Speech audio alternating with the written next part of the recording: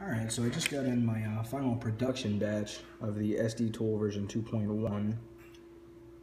Uh, these will be for sale on the modshop.co. There will be a link to them in the video description.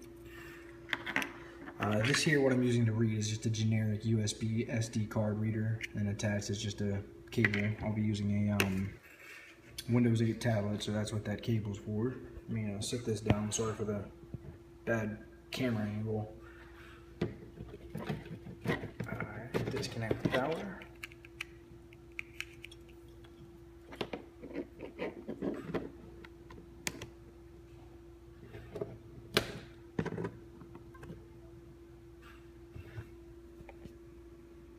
Okay, now that it's powered on, uh, it's going to ask you to format the disk. As always, you're going to click cancel.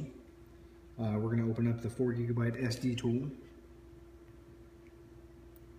and it's going to go into uh, full screen because I'm on a tablet. But normally it'll be the this size right here. So you're going to want to check your drive. Um, select the proper drive. Mine's going to be E. I'm going to click read. Go to desktop. Click save. I'm just going to go through and dump the first NAND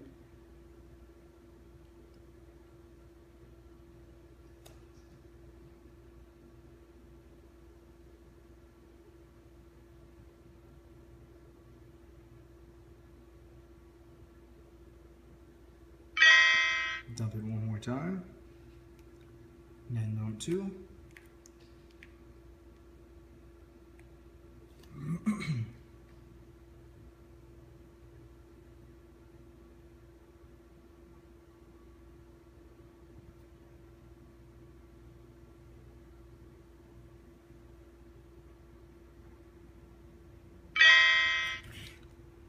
and just for safety, go ahead and compare them.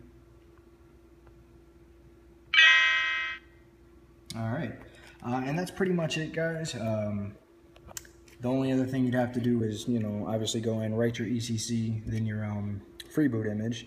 Uh, when you want to boot the console, you can leave everything connected aside from your NAND or your card reader, sorry, and uh, just disconnect the uh, breakaway cable, and you're good to go. Uh, once again, these will be for sale on the modshop.co. Uh, I'll have a link in the video description, and if you guys have any questions, just uh, leave a comment. Thank you.